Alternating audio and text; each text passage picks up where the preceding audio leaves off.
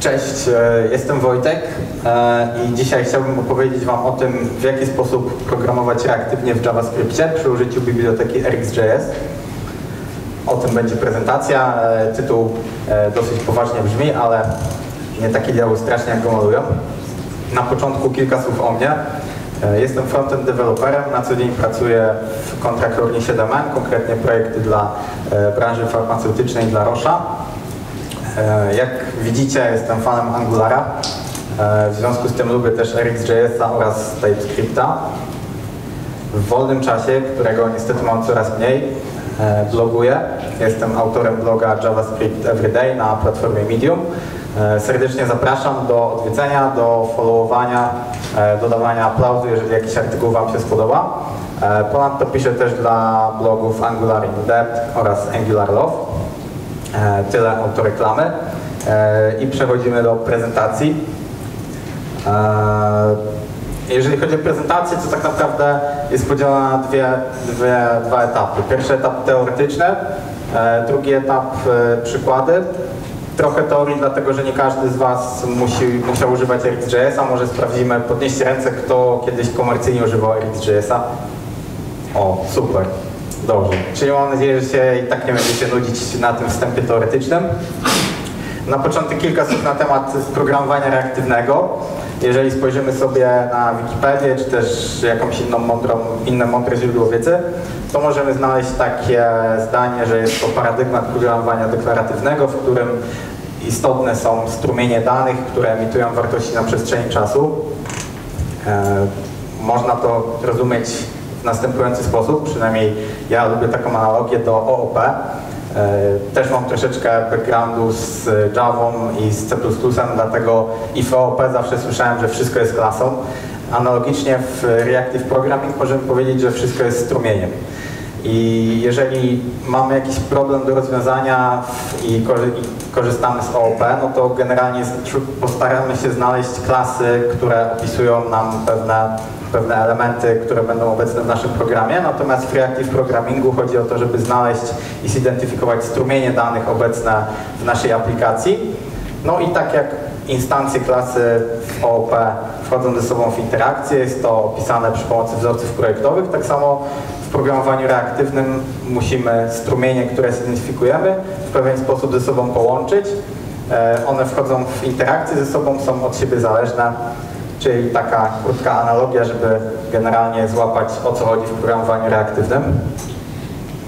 Jeżeli chodzi o samego RxJS-a, jest to biblioteka javascriptowa, pozwalająca pisać reaktywny kod e, na froncie i na backendzie też, jeżeli korzystamy z Node'a. E, I sprawia, że w łatwy sposób rozwiązujemy zagadnienia, z którymi mamy często do czynienia. Zagadnienia asynchroniczne. Myślę, że każdy z nas często z tym z czym się mierzy w pracy i tak zwany observable, czy też strumień danych, tłumacząc na język polski, jest takim podstawowym building blockiem RxJS-a. Jeżeli do kogoś bardziej przemawia, przemawiają obrazy, to myślę, że e, ten fragment slajdu ułatwi zrozumienie o co chodzi w RxJS-ie. Mamy observable, czyli źródło, które emituje notyfikacje, źródło, które emituje dane na przestrzeni czasu i mamy obserwatorów, observers, którzy mogą być zainteresowani takimi notyfikacjami.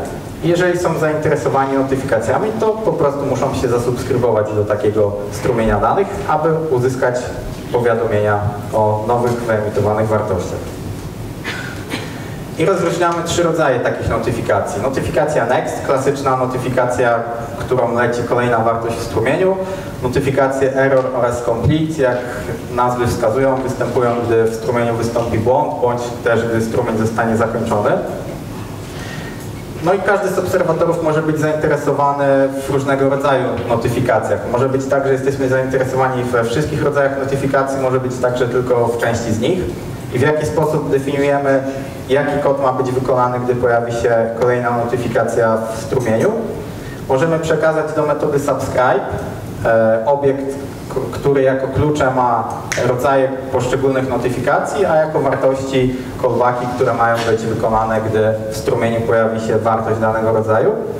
I drugi sposób, bardziej popularny, częściej spotykany, jako kolejne argumenty funkcji subscribe, przekazujemy metody subscribe, przekazujemy callbacki, które mają wykonać się. Jest to bardzo popularne, gdy na przykład jesteśmy zainteresowani tylko w next notification, dlatego że mamy wtedy jeden argument przekazany do funkcji subscribe. Observable, e, tak jak już wspominałem, e, strumień, którym emitowane są wartości na przestrzeni czasu. I RxJS przed, m, dostarcza dużą liczbę operatorów pozwalających na utworzenie takich strumieni. Wyróżniamy cztery kategorie. E, Pierwsza z nich streamowanie istniejących danych. Tutaj przykładowo możemy mieć arraykę javascriptową i chcemy stworzyć strumień, którym będą wyemitowane wartości w tej arrayce. Tutaj operator from e, nadałby się idealnie. Druga kategoria generowanie danych. To już widzieliście na poprzednim slajdzie funkcja interval, która emituje kolejne liczby całkowite w stałych odstępach czasu. Kolejna kategoria pozwalająca na wpinanie się w istniejące API. Przykładowo przy pomocy operatora from event możemy stworzyć sobie strumień, którymi będą e, płynęły eventy e, na kliknięcie danego elementu w drzewie DOM bądź też Ajax pozwalający na utworzenie streama, którym dostaniemy response e, z, od z zapytania HTTP. I ostatnia kategoria, e, operatory pozwalające na łączenie istniejących już strumieni. Przykładowo operator merge pozwala na stworzenie strumienia, którym będą emitowane wartości z kilku strumieni, które przekażemy jako argumenty. Kolejny building block RxJS-a to subjecty. E, Głównym zadaniem subjectów jest multicasting, tak powiedział Ben Lesch, twórca RxJS-a. E, Nie wiem, czy znane jest Wam pojęcie hot, cold, observable. Generalnie jest to taki milestone podczas nauki RxJS-a. Niestety z uwagi na ograniczony czas to jest poza skopem tej prezentacji, ale jeżeli ktoś miałby e, jakąś niejasność z tym związaną, to chętnie wytłumaczę, chętnie odpowiem, czy w przerwie, czy, czy możecie do mnie uderzyć na maila, który będzie na końcu prezentacji podany. E, Generalnie multicasting polega na tym, że jeżeli mamy cold observable, to przy pomocy subjectów możemy z takiego colda zrobić hota. I to, co jest też istotne, e, jak widzicie, RxJS to na początku trochę dużo wiedzy teoretycznej, no i tutaj twórcy jeszcze bardziej nam zaciemnili obraz, dlatego że subjecty są zarówno observable, jak i observers.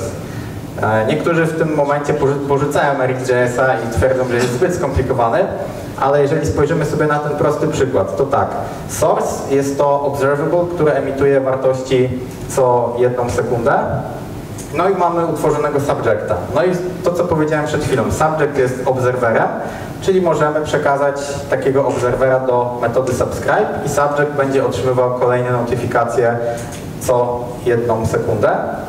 Z drugiej strony subject jest też observable, czyli może służyć jako strumień źródłowy, do którego możemy się subskrybować. I co widzicie dalej w tym przykładzie, do takiego subjecta mogę zasubskrybować się i w tym przedstawionym tutaj kawałku kodu akurat robię tak, że subskrybuję się natychmiastowo i subskrybuję się co najmniej po 5 sekundach. I generalnie tutaj chciałem pokazać, że jeżeli subskrybujemy się do subjecta, który mamy zasubskrybowany do cold observable, to subskrypcja do takiego subjecta nie powoduje powstania nowego producenta wartości, czyli interwał jest odpalony tylko i wyłącznie jeden raz. Na tym generalnie w skrócie polega multicasting. I ostatni element teorii e, są to operatory. Jak mówi, e, jak mówi dokumentacja RxJS-a, operator jest to funkcja, która przyjmuje strumień danych i zwraca strumień danych. Kolejna świetna, pomocna definicja. E, Generalnie chodzi o to, że przy pomocy operatorów możemy zmodyfikować wejściowy strumień, tak abyśmy dostosowali go do naszych potrzeb. No i operatory e, jest ich bardzo dużo, nie trzeba od razu wszystkich poznawać, można krok po kroku to robić. Ale ich zaletą jest to, że oprócz takich prostych operacji, które znajdziemy w, również w e, prototypie arrayki typu map, filter, reduce, mamy też operatory, które enkapsulują popularną, często używaną logikę. I na tym przykładzie możemy zobaczyć, że tworzę przy pomocy funkcji interval strumień, który emituje co 10 milisekund, czyli bardzo często. No i mogę być generalnie zainteresowany tylko w notyfikacjach, które e, występują w pewnych odstępach czasu. I mogę to uzyskać dzięki operatorowi throttle time. Generalnie ten operator pozwala określić próbkowanie na strumieniu źródłowym, kiedy notyfikacje będą rozważane i kiedy będą przekazywane do obserwera, który jest zasubskrybowany do takiego strumienia. To jest coś analogicznego, jakbyśmy e, mieli event listener na scrollu i oczywiście nie chcemy wykonywać callbacku na każdy event scrolla, tylko chcemy, chcemy taki, taki takie eventy po prostu próbkować w danych odstępach czasu. No i widzimy, że tutaj jest to takie łatwe, że po prostu używamy kolejnego wbudowanego operatora, który jest dostępny od RxJS. E, tyle na temat e, teorii. Przechodzimy do kodowania. Oczywiście nie będę robił live codingu. E, oficjalne uzasadnienie jest takie, że mam mało czasu, nieoficjalne jest takie, że pewnie coś poszło nie tak. E, dlatego będę przedstawiał slajdy z kodem e, kolejno i omawiał, co tutaj się dzieje, co jest istotne. No ale na początku, jakie mamy zagadnienie do zaimplementowania? Nie jest zbyt oryginalne. E, mamy endpoint, pod którym mamy dane o userach na podstawie IDK. No i chcemy mieć aplikację, gdzie możemy sobie wpisać do inputa ID usera, no i wyrenderować dane, które pobierzemy sobie e, z API. I jakie mamy, to, to jest generalnie podstawowy element tego zadania, ale dodatkowo mamy trzy takie warunki, które narzucamy sobie. Mianowicie 500 milisekund musi upłynąć od momentu, kiedy użytkownik przestał wchodzić w interakcję z tym inputem. Chodzi o to, żeby nie wykonywać niepotrzebnych zapytań HTTP. E, chodzi nam też o to, żeby nie powtarzać zapytania HTTP, jeżeli query string się nie zmienił, czyli żebyśmy nie pytali dwa razy pod rząd o usera o tym samym ID-ku. No i chcemy też obsłużyć tak zwane race condition. E, w skrócie, jeżeli uderzymy do serwera o dane użytkownika 1, 2, 3, nie ma takiej pewności, że zwrotki otrzymamy też w tej samej kolejności. Chcemy też dodatkowo te trzy rzeczy tutaj z tymi trzema rzeczami poradzić sobie w naszym rozwiązaniu. W związku z tym, że ja przychodzę z angularowego świata, to jeżeli mam do zaimplementowania jakąś logikę, to od razu mówię o serwisie. Oczywiście y, takie serwisy też można tworzyć sobie poza światem Angulara, tak? To jest czysty JS, y, czysty TS, przepraszam, bo mamy modyfikatorium dostępu. No i w klasycznym pull-based approach, czyli w tym, co myślę każdy chociaż raz w życiu popełnił, zrobiłbym to następująco. Stworzyłbym sobie klasę, która, której instancja trzymałaby stan tego fragmentu aplikacji. Miałbym flagę isLoading, miałbym pobranego usera, no i oczywiście miałbym gettery, które pozwalają na dostanie się do stanu aplikacji, getter e, na flagę loading, getter na usera.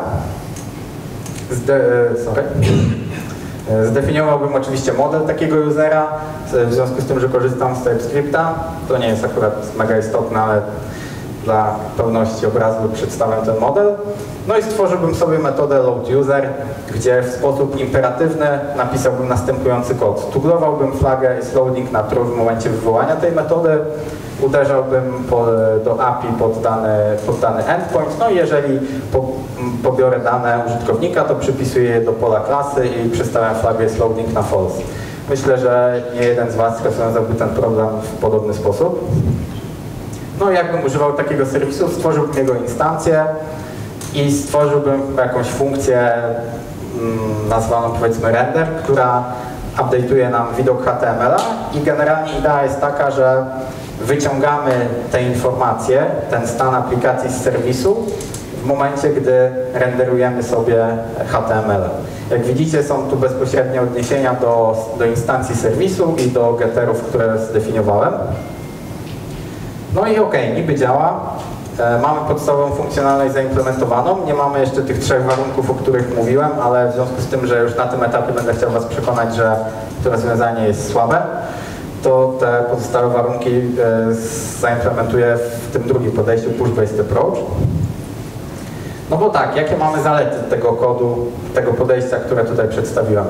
Jest na pewno łatwo zorientować się, co, co tutaj się dzieje. Kod jest bardzo imperatywny, łatwo go napisać, dlatego że przelewamy na kod generalnie to, co pojawia nam się w głowie, tak?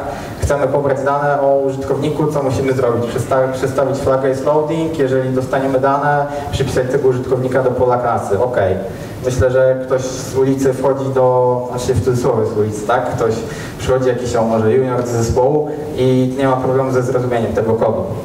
ale niestety lista wad, jakie mamy, bo generalnie poruszamy się, e, poruszamy się tak naprawdę w środowisku powiedzmy framework agnostic, tak? Tutaj nie mówię, czy ten kod implementuje korzystając z Vue, czy z Reacta, czy z Angulara, to, jest, to są takie uwagi natury ogólnej. Jakie są wady takiego podejścia?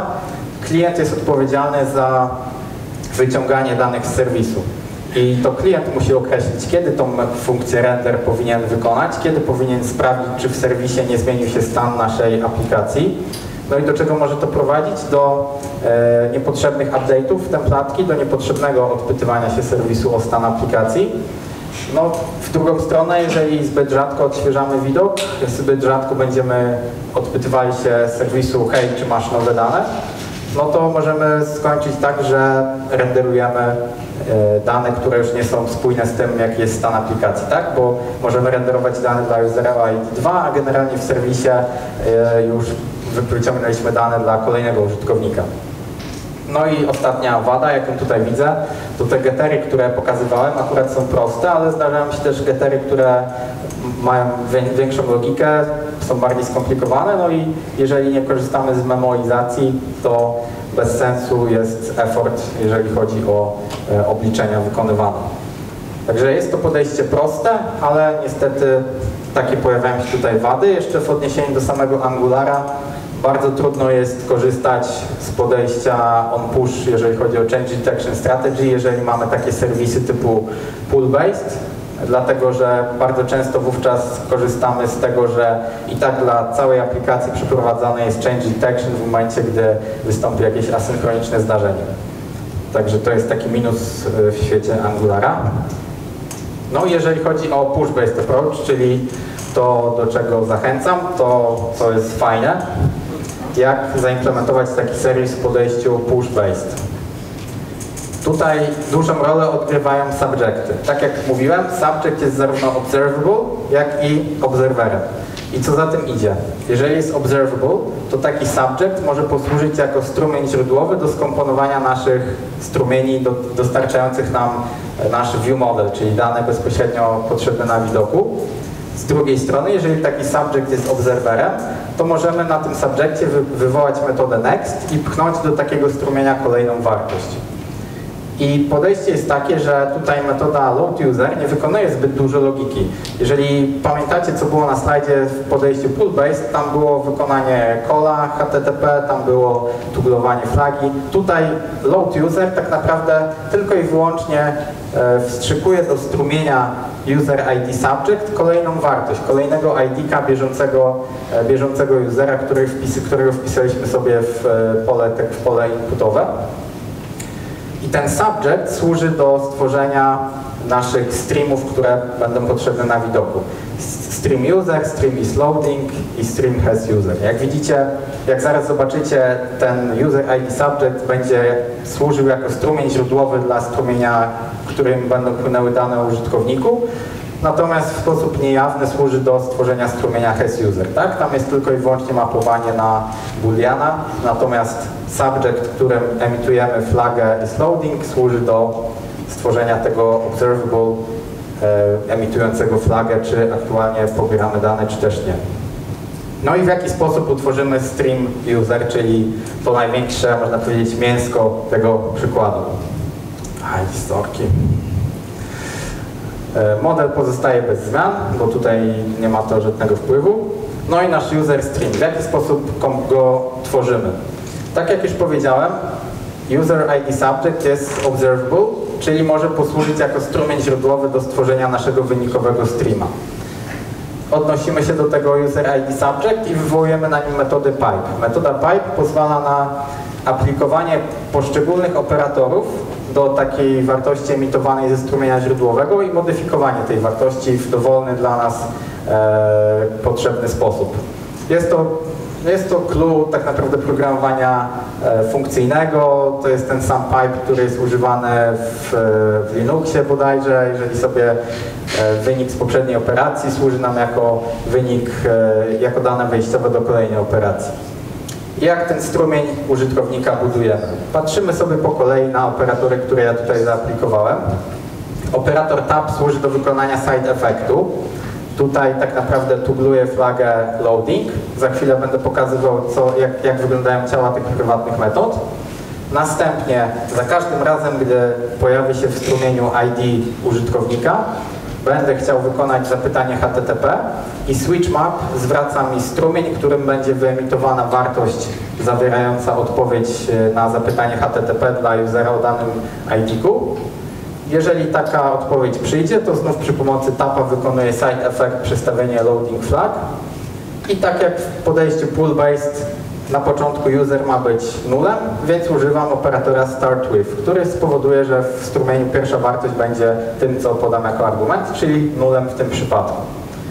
Na, e, na końcu share replay tylko i wyłącznie po to, żeby dla późnych e, obserwatorów, którzy zasubskrybują się, gdy, wykonanie, gdy zapytanie HTTP już będzie wykonane, chcemy zwrócić skeszowaną ostatnią wartość, a nie chcemy jeszcze raz wykonywać zapytania HTTP ciała tych prywatnych metod, set loading flag tak naprawdę emituje kolejną wartość w naszym loading subjectie.